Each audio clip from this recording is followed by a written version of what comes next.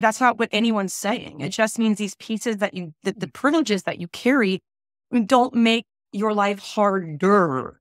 And that's like that kind of, you've still had a hard life, still fought for what you did. No one's saying you didn't. It's just you haven't had these additional challenges. Welcome to another episode of the Living Out Loud discussion series. Today we are talking about how to be responsible with your privilege with Lindsay Messoline. I am your host, Charmaine Utz a relational DEI expert. If you are new here, we are unpacking real life scenarios and issues that come up in our interactions in professional settings or in settings where we feel like we need to be buttoned up. The goal of every single episode is to reveal the layers in those interactions so that we can learn about them as a community that cares about diversity, equity, and inclusion. As always, the thoughts, views, and opinions, the things that are said in today's conversation, they are my own and not as a representative of any of the agencies that I work for or am contracted by.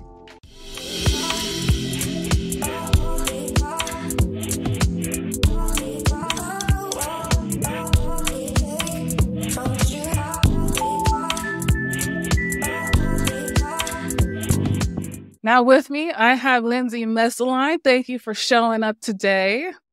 Hello. Thank you for having me. I knew that we were going to be friends as soon as I met you, and I have not even known you that long. We met in the summer about, I don't know, six ish, five ish months ago at a networking event. and I felt so out of place, so out of place. And I don't know what it was about you, but we just gravitated towards each other and started talking. Yeah. And I felt, oh my goodness, this is a person I want to chat with. I don't know. Do you remember when we first met? Like, what were you thinking? I, I mean, I felt the same way. I felt incredibly out of place. Like, I'm a teacher. I don't really do networking events. I don't even really know what that word means. Obviously, relationship building, blah, blah, blah. But as soon as I saw you, I think we like made a joke too about like how we felt. And then immediately I was like, okay, I'm gonna sit by Charmaine this entire because we we're on the same page here and we can get something valuable out of it, like meeting each other. But we can also like call call it out for yeah. what it is. Absolutely. And the more we got into our conversations too, I felt like your story, I was really surprised. I made a lot of assumptions about who you are mm. by how you look. You know, as a white woman, and when I started hearing more and more of your story, I was like, okay, there's there's a lot more to this person. I would never have known had I not spoken to you. And yeah. it'd be really easy to go to an event like that and just yeah. not, I really wanted to just isolate and go back to the hotel room. I just didn't want to do any of that. But there was a lot that I was thinking about myself and having conversations with you and some uh-huh. other people as well. That you just, every time you share more and more, I realized there's a lot about your journey and this internal process that you've gone uh-huh. through that I felt and still feel is going to be very valuable, especially given today's topic about uh-huh. privilege and, and using it responsibly and having, I think we talked about like a healthier relationship uh-huh. with it. I yeah. haven't really used that term before, but that feels very good to me. So I just know it's going to be a good convo. I know too. I felt exactly. Okay. Okay. Yes. Would you mind taking some space and sharing anything about yourself, your own introduction? Sure. So, my name is Lindsay Messoline. Uh, I'm from what we now call Oregon originally, um, but I'm now based in what we now call New York. I've been a teacher primarily for about 23 years now. So, all of my adult life, I've been teaching.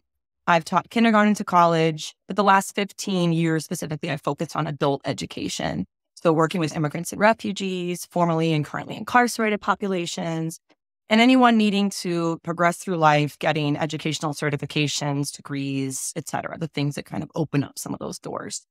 I've lived abroad. I speak Spanish fluently. I'm an interpreter and translator.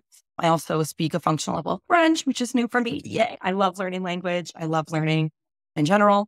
I'm also a writer. So I am a, a, contributing writer to an educational publication on Medium called Educate. And I've published a few pieces on my own, including a, a textbook for learners. So I love education. I love to write. Mm. And I really, really love having conversations that like center us as humans, like human beings in a common space with similar goals like one of my favorite things. And I think I also really love just being mm-hmm. very honest and direct about life. I don't like, I mean, you said button down. I'm not a buttoned up person. I don't, certain norms or societal things, like I understand. I'm like, okay, I can do this. And some of them I'm just like, no, I'm doing that. Why would I do that? Or examining where those things come from and then questioning them and then setting my own terms. So yeah, I'm super excited for the conversation today. And yeah, let's go. Yes, let's go. I feel called to at least reference that moment when we were at the conference and I remember I referenced you mm-hmm. and I I referenced you to a group of people. And then I went internally this whole time and I'm like, oh my gosh, I just made this assumption. I don't know if these things are true about her mm-hmm. and decided in this moment to publicly mm-hmm. acknowledge, mm-hmm. hey, I just said this thing. I don't even know if it's true. And when I said it, I didn't know you well. I just met you. So there was an element of, you're going to say this thing in this place. And I, it was the type of place that was going to be different for them. Like just, yeah. I knew it was going to be different to just say this in front of everyone. And then I didn't know you and I said it to you in the place where everybody was. It was this major risk. I said, Oh my gosh, I feel like I have to do this. And then I have no idea how this is going to go. So then I say it and I looked over and you're like, oh yeah, no, that you were just so cool about it. You're like, makes total sense. Yep. And I remember feeling, oh my gosh, you are so down to have like conversations in front of people and just, it's fine. It's not a big deal. Let's just talk yeah. openly about it. So thank you for that. Cause I legit had no idea what's going to happen you were part of my first experience of doing something like that. And it didn't go terribly wrong. Oh. That was cool. Yeah. It was that was a yeah. it was a good experience because like you said, it it does represent like how I feel about things. I, I, we just be yeah. direct and honest and open. And the assumption you made was exactly right. So yeah, you're right. Let's keep moving. What else can we say? So yes. Yes. Absolutely. Okay. I feel like a great place to start is to be very clear about when we are saying privilege and when mm. we're saying uh, to be responsible with it, when we're saying have a healthy relationship with it, to shine a light on what that means. I feel like, mm, I don't want to say many, but I do feel like there are plenty of people who understand privilege, mm-hmm. but not everybody does. So could we just start there? You can share anything about it, but just one, what is privilege? And then when we say use it responsibly, what are we talking about? Mm-hmm. And what does that healthy component look like? Any thoughts to share there? Yeah, I mean, what a great place to start. I mean, it's a huge question, right? But like thinking about it in realistic, bite sized yeah. term, to me, like when you look at the way society functions and who holds power and why do they hold power and what kind of power are we talking about? Political power, economic power, um, the ability to vote, the ability to own things, like having, and again, like we're a capitalist culture. So the more you have, the more value you have, which I honestly disagree with, but that's the society in which we live. So who is able to mm-hmm. have stuff and why? Who's like deliberately not able to have stuff? And then going like beyond the having, it's like, how do people see me? What do people think about me? Um, where am I safe because I look a certain way or I can do a certain thing? Where am I not safe? Because I look a certain way or I can't do a certain thing.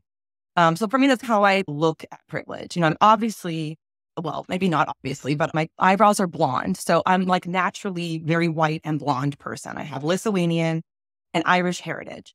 Um, my family's like pretty recent for white people to the to what we now call the US. My family came like in the late 19th century from Ireland and the early 20th century from Lithuania um, like, you know, poor immigrant families not coming from any generational wealth, not bringing property with them.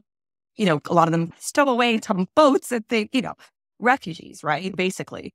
And what the world they came into might have been different. I know a lot of people love to talk about what the Irish have been through in the US and whatever. But where I am now, what does the world think of me now? Where are the spaces I can go, look in the way I look, speak in the way I speak, to be safe, to thrive? Like, where are the spaces that I can go to thrive? And where are spaces that I have to keep an eye out for my own safety because of the way I look or the things I can or can't do?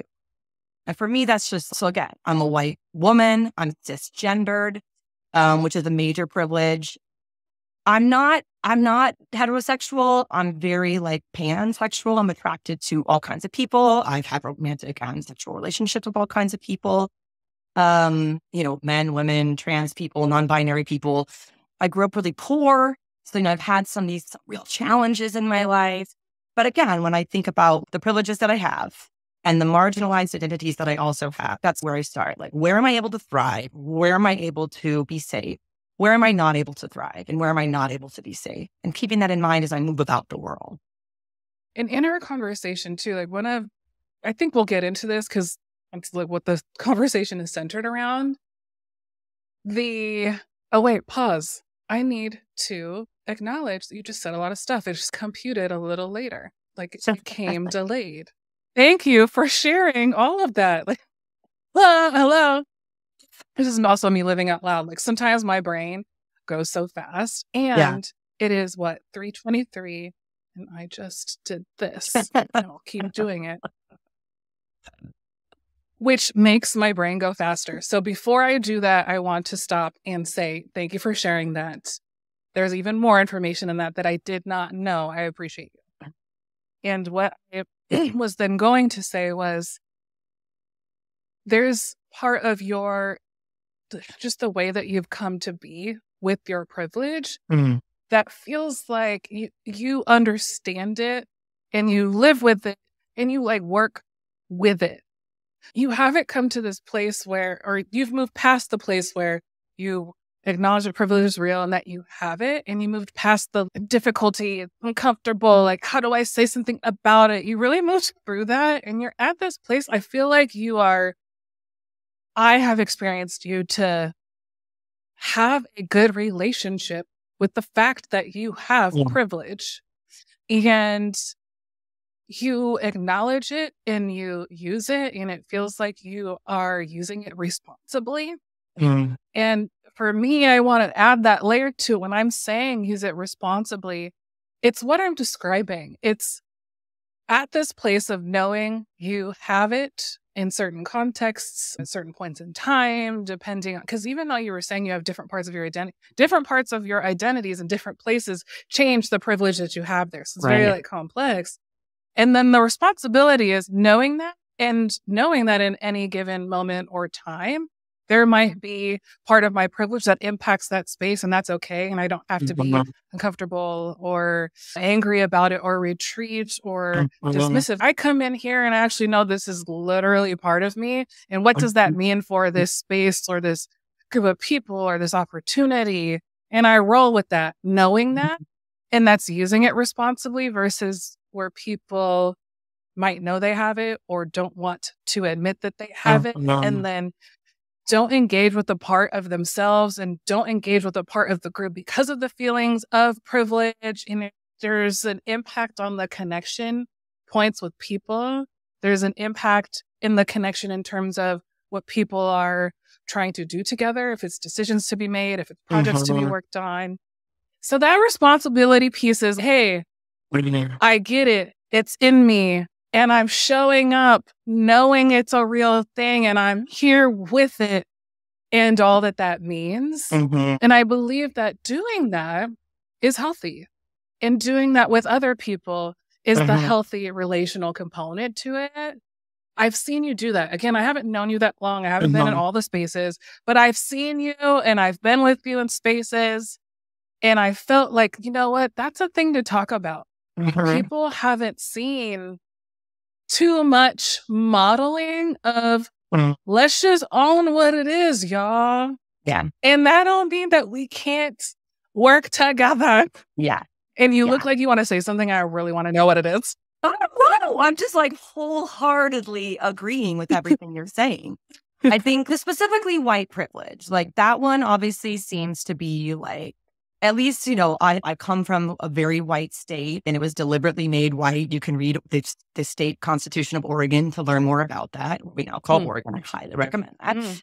I, I think you said really important words like the discomfort, the retreat, the desire to retreat. I would throw in guilt. Yeah. I know a lot of white people who have a ton of guilt about the white privilege they know they have, and that's where they're stuck. And then I know those who just completely dismiss it and I'm, I'm, yeah, I'm going to use white privilege as the example, but this I think is true of any type of privilege. I think it's important to point out I don't have a physical disability. I don't have a documented mental disability either. And so I have like able bodied privilege. Uh, you know, there's lots of different privileges we could use, but I'm going to use white privilege because I think it really is like that one that touches people fun. ah. And we've all, I think we, I don't know who said this quote, but I've seen it and I've shared it a million times is white privilege does not mean that your life has not been hard. It means that your skin hmm. color didn't make it harder. And so, like for me, I grew up, I come from like a ba- like almost the first generation immigrant household.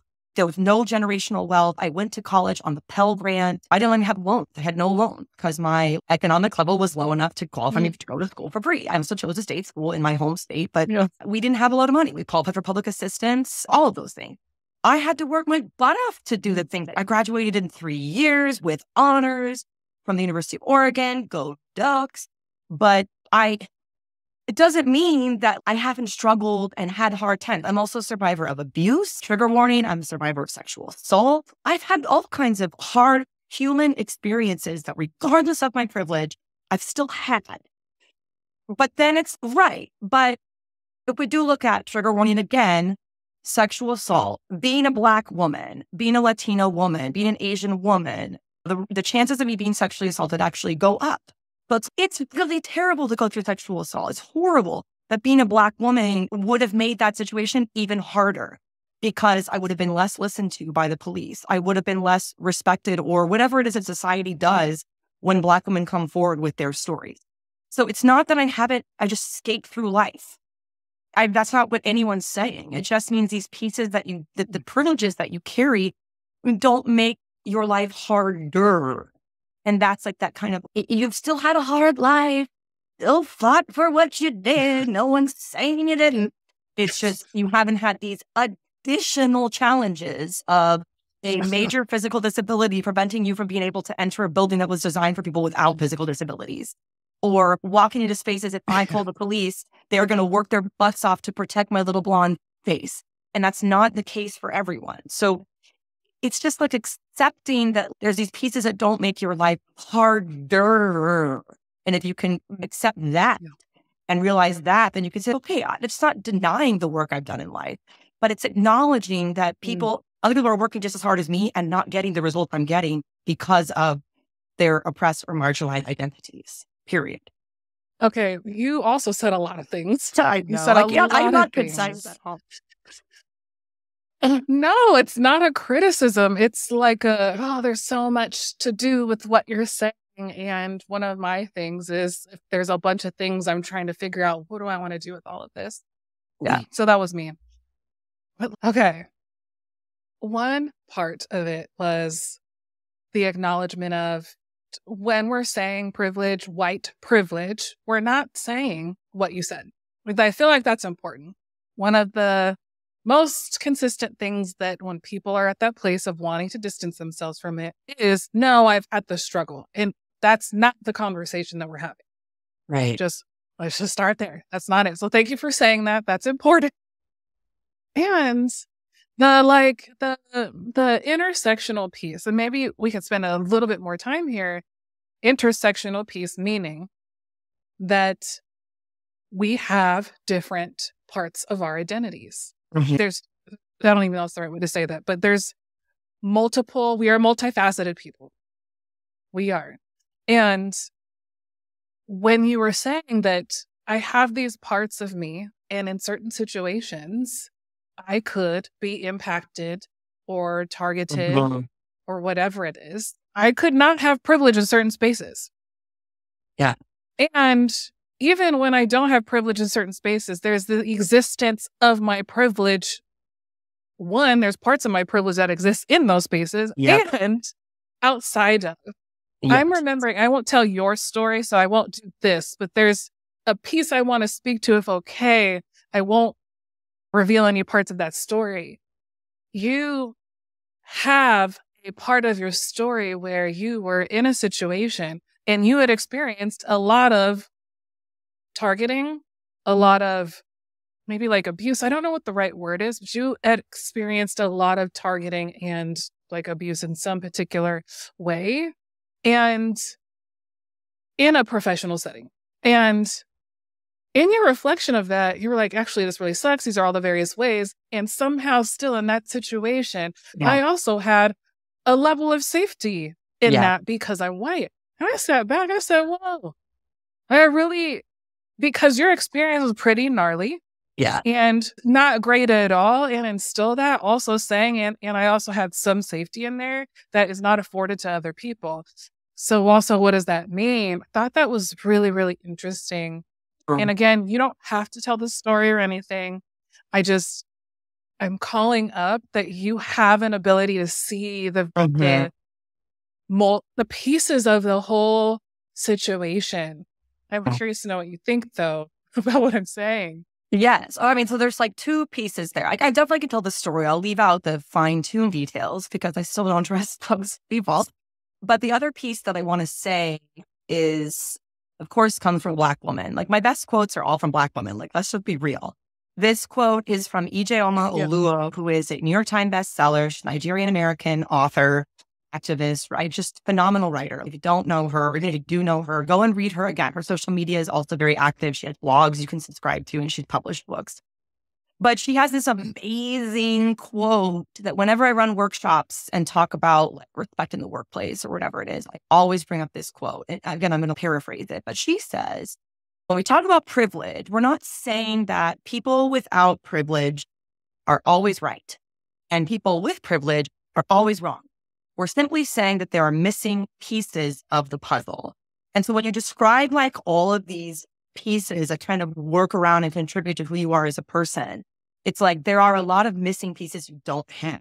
I have no idea what it feels like to yeah, to live with a permanent physical disability. I don't I don't have that. You know, I've been I've been injured a few times, used to be an athlete, I had a sprained ankle, that stuff. But okay, is that a permanent disability? No. Is that my entire life experience on a daily basis? No. Do I know what it's like to be a mm. black man?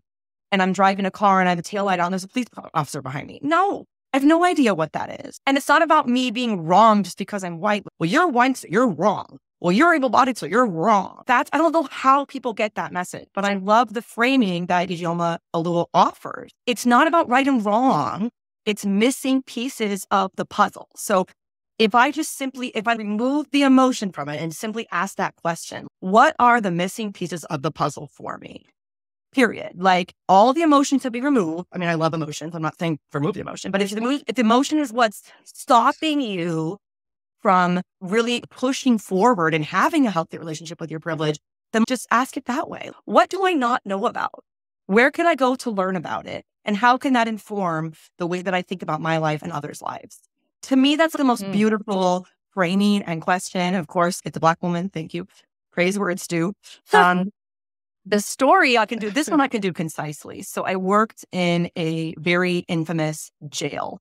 I was teaching, I'm a teacher. I was teaching GED, I was teaching English, teaching Spanish, lots of classes going on. I had huge successes to the point where the jail wanted to hire my organization and wanted me to train all of the educators coming into this space because of how much success I was having. All my students were black and brown men. And I am, you know, very blonde white lady. But no matter what, it was like I would go into these spaces and just be able to connect with the learners and make real progress every week. For whatever reason, or all the reasons I'm sure we all know, like, you know, how dare you come in and treat people who are awaiting trial like human beings? So I got a lot of hate from the employees who worked there. I had some support from the employees also, which I can say. But I had a lot of what is it that you're doing? A lot of suspicion. Like, why are you how why do they like you so much? That's what I got a lot. Um, and then just some wild accusation about my behavior and my relationships with the men.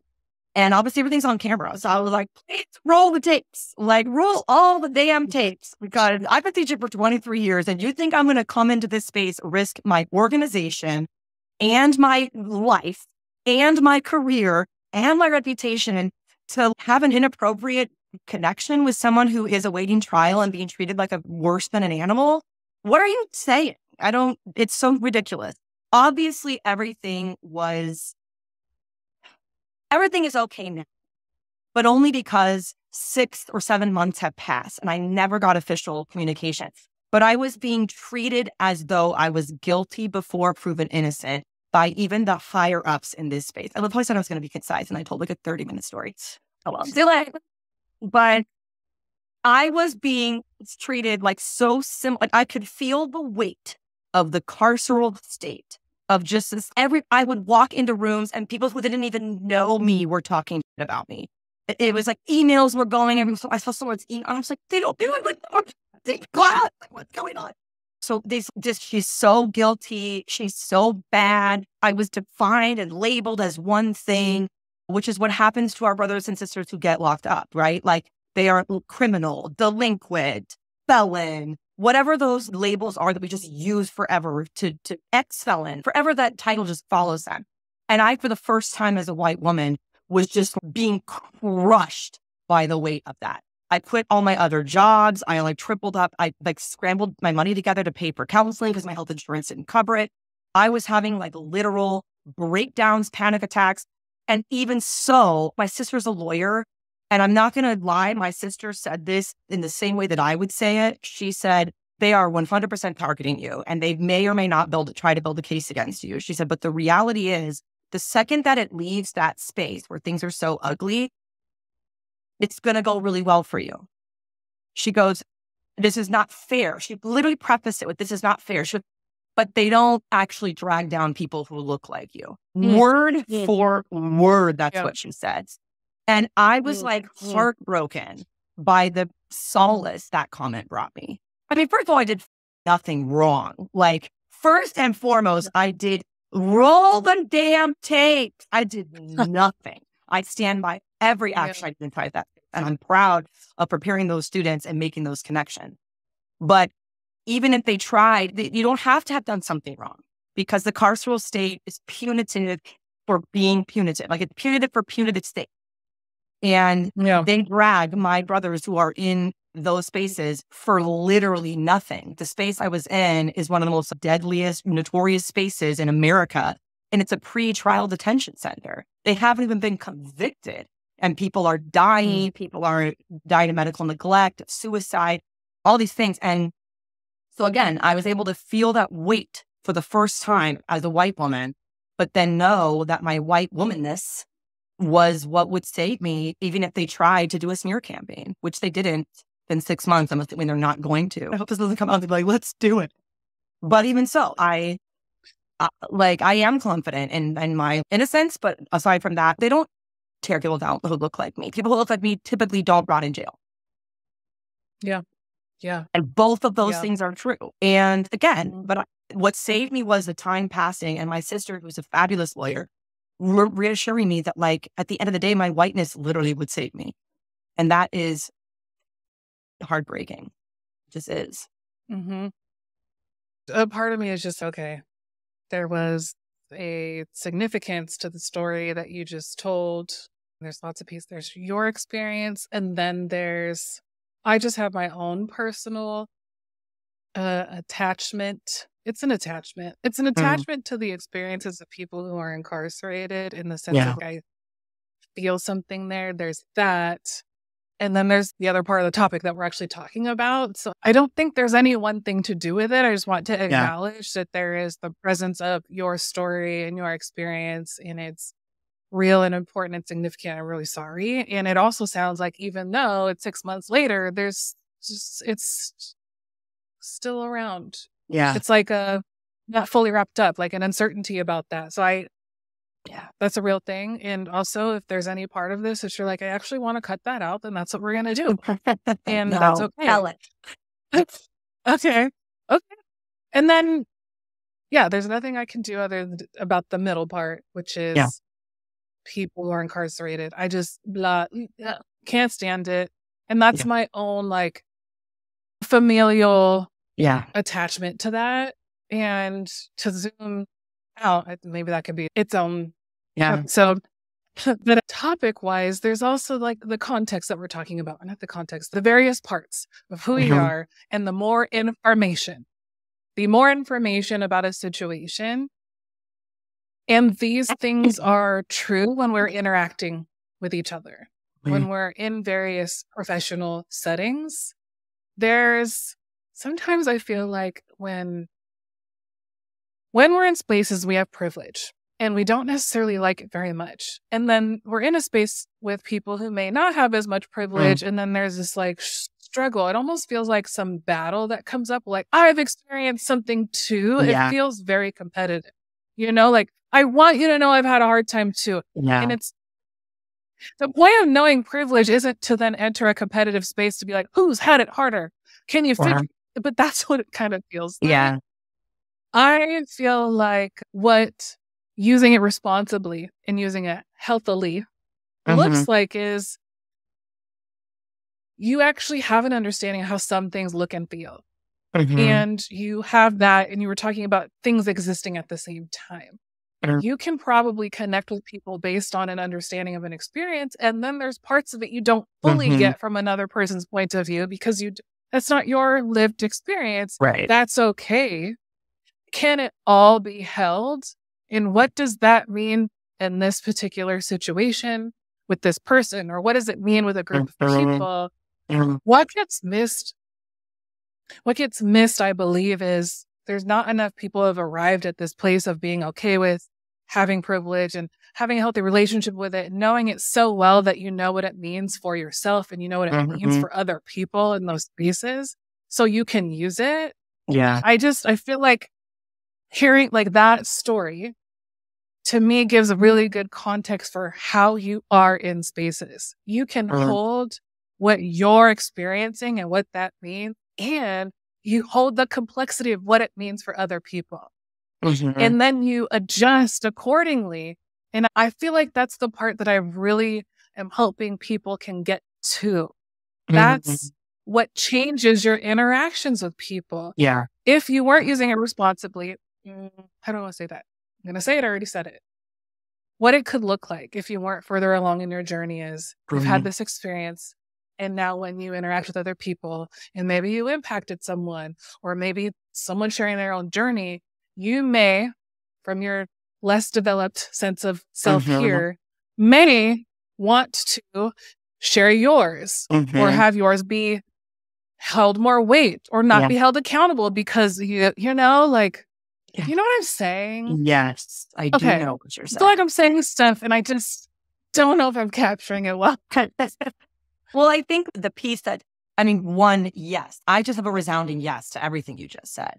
I think that, I think, first of all, there's that competitive piece, which I also think is like, um, like a tool of our oppressors. Like they do want us to compete, you know, because if we can just eliminate each other, that they can just keep sailing away on their yachts, you know, like, oh, let mm-hmm. them kill each other. Let them waste their time debating yeah.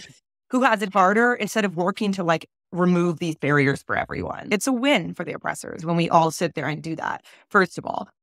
But I think there's also, again, if we think about like missing puzzle pieces, there's a major win there. It's not about more or less, it's just missing puzzle pieces. Like, where can I go? What can I mm-hmm. learn? What do I not know because of my lived experiences? There was something else I really wanted to say, and now it's it's escaping me, but I don't know what. Maybe it'll come back.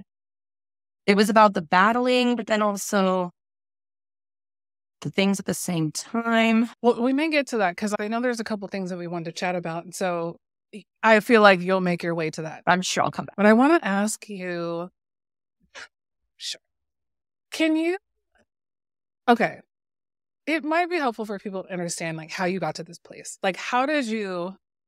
I'm imagining you didn't just wake up one day and be like, you know, I got it, privilege. You know, like it couldn't have been just emerged yeah. one day. Like, how did you get to this place that you're at where you're like, cool, it's, you're not fighting it? Yeah. Okay, well, one, I did remember what I wanted to say. And two, I love this question. So the first other thing oh. I want to say is I want to just say that I think the biggest thing is for me with privilege is that having belonging to a marginalized identity or having an, a, mar- marginalized, racialized, minoritized identity does not cancel out the privilege that I have. And so it's not only do we not have to battle it, but both things are true. And so you, it's, it's not like a, well, because I was poor, I don't have to worry about my white privilege as much. Because I'm pansexual, because even as a white woman, I couldn't get credit until the 70s without a dad or a spouse. I'm good. Because I've experienced this all, I don't have to. It's no, belonging to one identity or having a marginalized identity does not cancel out the privilege that you have. And we can come back to that later too. But so this all started, I can say, I was in sixth grade. A counselor came into my very white school. There were three black students and like five Mexican students. Now mm. Oregon's demographics obviously have changed after NAFTA and all that goodness, which could be an entire other episode. Mm. But this counselor came in to our sixth grade class and said, I'm going to show you this video. It's very sad, but it's important that you guys know about it. And so they put it on, and it was like civil rights marchers, primarily black, like in the 50s and 60s, being sprayed down with fire hoses, being attacked by dogs. I like started sobbing. I was like, release the white tears. Like I was sixth grade. I was just like, what is this? Like, this is the world I live in. What are you talking about? And I and then they yeah. just turned it off and they said we could talk about it. I was just like, whoa. Okay, time to go to recess. You know, it's just like I don't know how anyone watched that and then just kept it moving the rest of the day. Here I am at 41 years old, about to be 42. I mean, I've never, I can tell you what the counselor was wearing that day. And I just, I remember thinking, like, I don't think I said, well, I'm white, so that wouldn't happen to me. But I think those insinuated messages were like, it's because they were black that this happened to them. Mm. Started there. I went to the University of Oregon. I was majoring in education. I didn't really like it. The classes, no, no like shade to that program. It just wasn't exciting me. I was like, I think I can be a good teacher without these classes. And that's not true for everyone, but that's true for me. And I, I was back in the day, and so I open up the like actual physical catalog and I'm like flipping through, and I come to ethnic studies, which was a brand new program at the University of Oregon. And it said all the staff were, I don't know what the word is at the time, people of colors, whatever the term was at the time. It was like very clear the white teachers were going to be Asian, black, brown. In the state of Oregon, that's really hard to come by. It's hard to come by anywhere, really, but like particularly in Oregon. So I just thought whatever I felt in that sixth grade moment, obviously other things had happened along the way, but this was like, this is it. This is it for me. So I signed up for the program. I went to the office. It was the second year of the program. I met all the staff and I was just like, all I know is that no one in my circle has ever looked like this. And if there's an entire program dedicated to this, I mm. have to learn about it. And then there I went and I started on ethnic studies 101, started in my class, off I went. And I ended I graduated with honors. I had a tiny little graduation class at a huge university but there was only two white people who even graduated from that major that year, and I was one of them.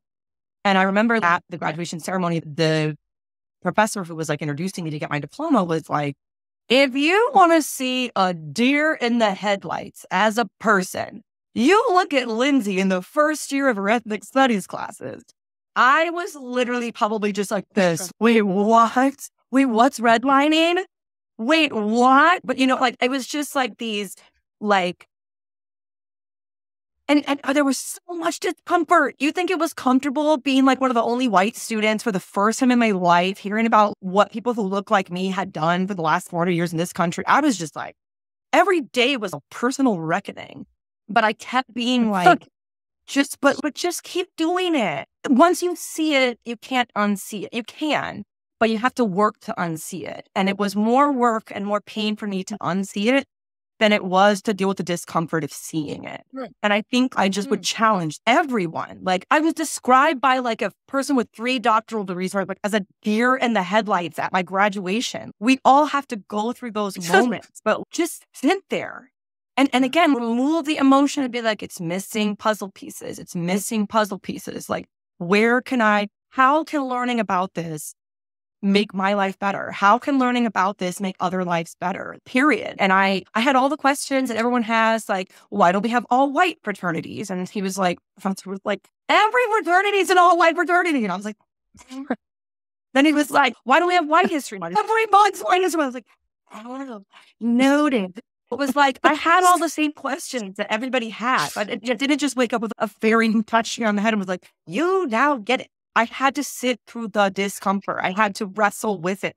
I was ostracized by so many members of my family. Like I was ruining holiday dinners long before 2020. I didn't know, but I was bringing like hot topics to the table and I was like ostracized until 2020. And everybody came mm. crawling back being like, oh, this is what you were talking about. Like, I mean, I say better late than never, but yeah, just like just accept it. There's way worse things than feeling a little uncomfortable talking about privilege. Like, come on, that's the worst thing that happens to you today. Like, what a damn good day you just had. I also felt it. You just have to sit through it. And then you just say, It's a missing puzzle piece. A missing puzzle piece. I want to get, I want to complete this puzzle. And you're never going to complete it, but I want more pieces. I want more understanding. Life is better when I know more, like, period. So just, just pick up the puzzle pieces, learn, listen, be uncomfortable. Yeah. Yeah. That's my long answer. I, it's your answer. It's, I'm not worried about it being long or anything. I like the, I feel like it doesn't matter who I'm talking to. There's this theme of it doesn't feel good. That, that there needs to be like this expectation of it's not going to feel good. Mm-hmm. And could you just stay in that? And if you learn to stay in it, it doesn't have to be an unpleasant experience. the building the capacity to be uncomfortable helps. I'm imagining if you gave into it, you might have been a deer in headlights, but you also developed a capacity to go to class. I wasn't there. I'm imagining. Yeah. You developed a capacity to go to class and you kind of knew like, it's, it's going to be uncomfortable today, but I'm still going to roll with it. I'm going to learn. And that's just in class. Like you learn things outside of, but there's a part of it that's like, all right, I had a commitment to roll with it and learn and not know all of the things. Yeah. And it's a journey I feel like people, uh, how can I say this? I feel like people have gotten to this place where we can say out loud and acknowledge that you need to be uncomfortable and it's a journey uh-huh. and we're buying into the language without going through the experience. Yeah. 100%. It's one thing to say, hey, y'all, let's do it. But like, but, but do it. And then uh-huh. it will be better. It's going to get better if you just mm-hmm. go in there and do it. And a lot of people associate it being uncomfortable or hard or even like it not going well. Cause once you start doing it and you have conversations with people, there's a lot of like train wrecks and stuff in there. Yeah. Ooh. And there's an association like if it's not going well, you're not doing a good job. So you should pull back. But those oh, yeah. moments of it not going well are the ones you have to be in, you know, and learn yeah. from. That's how they stop happening. Yeah. So I just there's that part in there that I I really just wanted to say I hope people get that. That's part well, of why we're having these conversations. Look, this is what it looks like. Go ahead. No, I think it's really, really, really important to talk about this. And I love to talk about the systemic things that contribute to our action. I think, particularly in the United States, I am the same. If I even have a hint of a headache, I'm like, oh, let me grab that headache medicine if I feel a little bit of swelling in my ankle, let me grab that anti inflammatory. One, we, are always looking for solutions to get rid of the discomfort, which I'm not necessarily saying is a bad thing. Who likes the discomfort, right? But we've gotten too used to acquiring something to then remove the discomfort. I think the other piece that's really important and problematic is we, my friend and I just had this conversation about this. Sometimes when we feel sad, we think it's like regret and we have to do something to fix the sadness. Sometimes when we feel uncomfortable, we think there's a problem that needs to be solved. And therefore, to remove the discomfort, when it's no, like sadness is just a thing that we feel sometimes. Like discomfort is just a thing yeah. that we yeah. feel sometimes. And when we're in a society that's like, I'm a very solution oriented person. I love to study and look at, and so it is hard to turn that part off and be like, well, this is what makes me uncomfortable. Why would I just avoid it? Problem solved. If eating too much sugar before bed gives me a migraine in the morning, I'm not going to eat sugar anymore, right? And so if these conversations me uncomfortable, why would I go into them? But it's look at the mm-hmm. systemic way that capitalism especially wants us to just like buy stuff to fix that problem.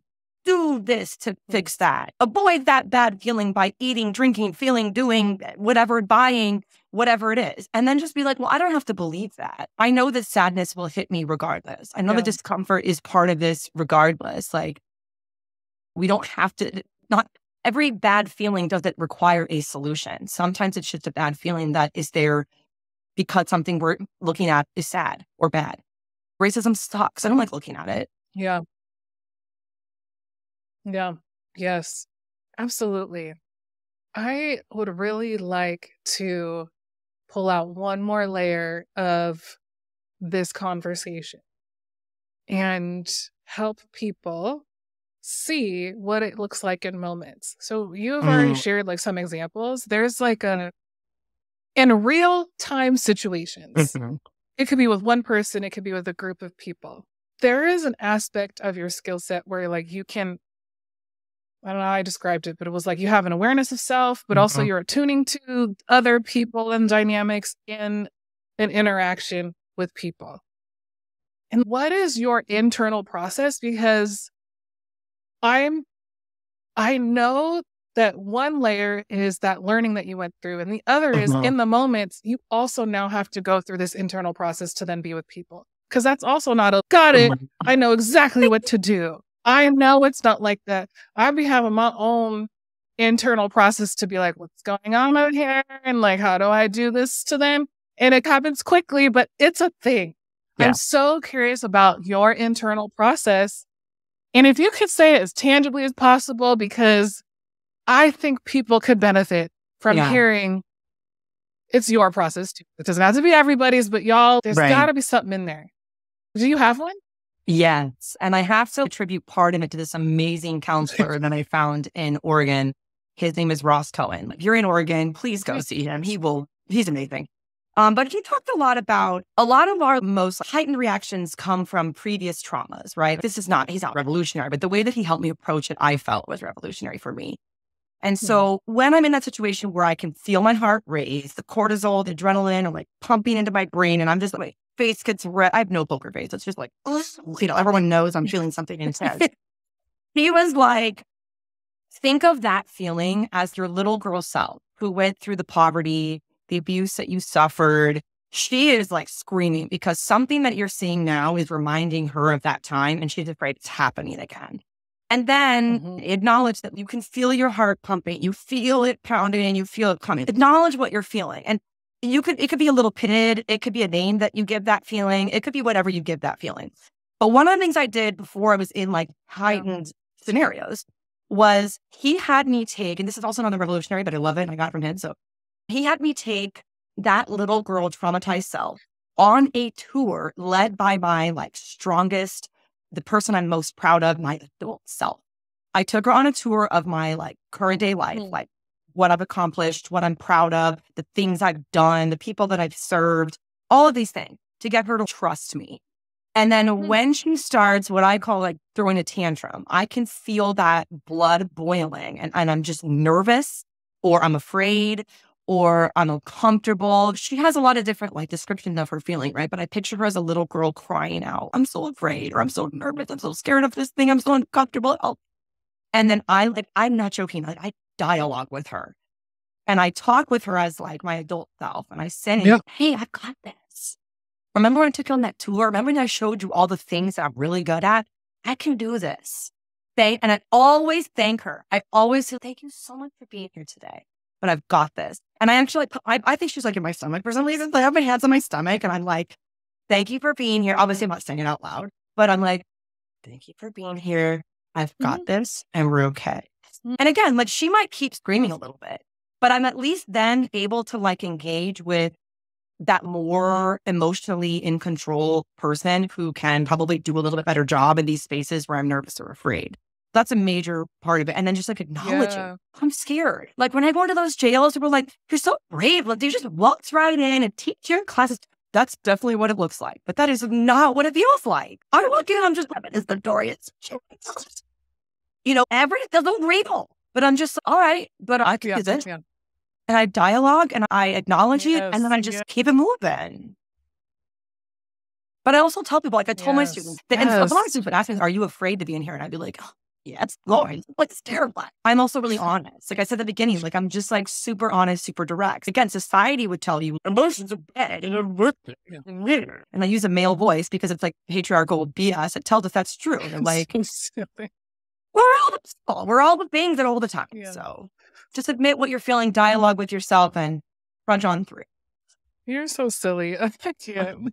Just you're expressive and it's hilarious. I love that.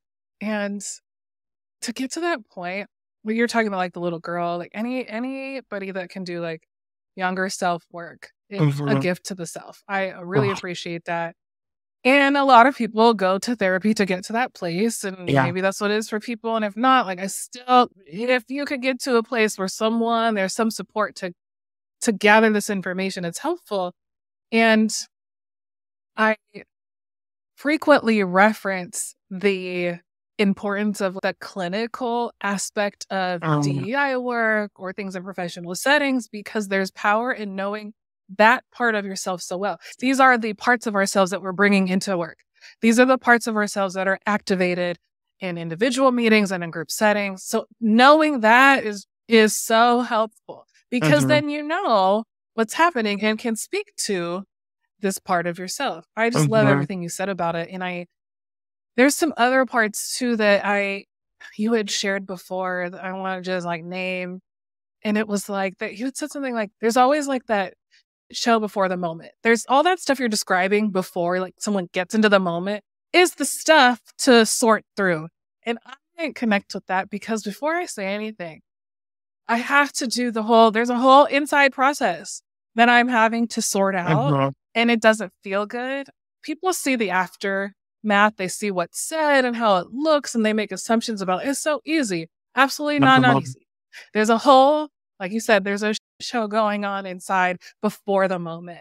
And then when you're in these moments, there's an importance to be able to understand what you're experiencing, the feelings, and self regulate so you can stay there. Yeah. And then I don't remember what the other part was, but there was just like these little Mm. pieces in the moment that I don't know if you remember what I'm talking about.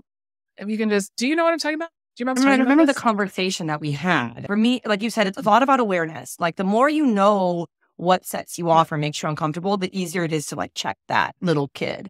Again, it doesn't have to be a little kid that you, but I labeled mine Yeah. little. So I had a lot of compassion for her. Every time I felt afraid, I had compassion for the little girl who felt it.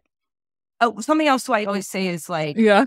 The child self is allowed to feel whenever she needs to feel, Yeah. but she's not allowed to make any decision. Only my adult self can make those decisions. And so when I've mm-hmm. identified that I'm feeling stuff that child is feeling, I have to like calm her down or she's going to start running the show.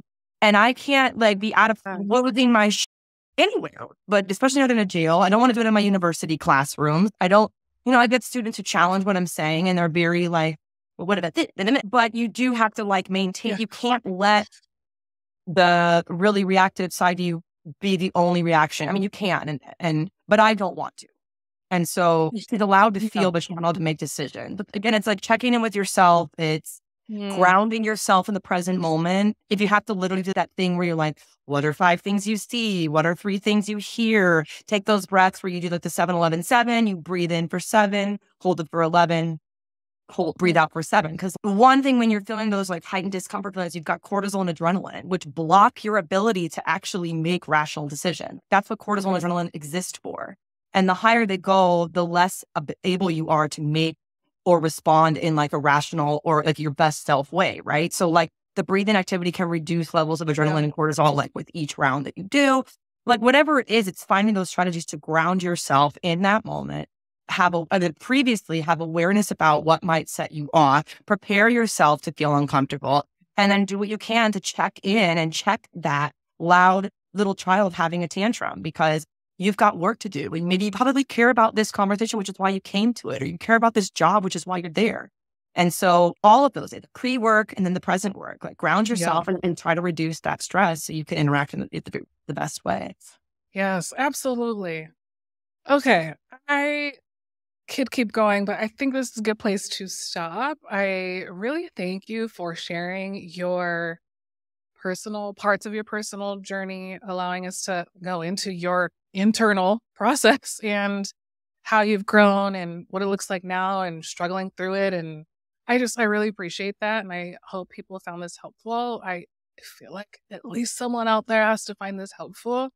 Then thanks for modeling what it looks like too to you have I don't know, you have parts of you that don't have privilege and then you have parts of you that do. Thanks for modeling, just showing up and being like, hey, it sucks over here, but also it's really great for me over here. And there's nothing wrong with that. Yeah. Thank you. If someone wants to get in touch with you, what's the best way to do that? I think uh, my social media, Instagram is the easiest way to get me. It's just my first name dot last name. So it's my name somewhere on the screen. I don't know, Okay. but yeah, Lindsay dot Um, I'll put in the description. somewhere on the my my organization is called Collaborative Voices. It's an educational organization. You could just Google collaborative voice or sorry, internet search collaborative voices and our website will come up. But you can also just go to collaborativevoices.co and send a message and it comes right to my email. So you can get in touch with me there or via Instagram. Perfect. Perfect. All right. Well, if this was of interest to you, or maybe it'll be of interest to somebody else, please share and engage in dialogue with people in your network.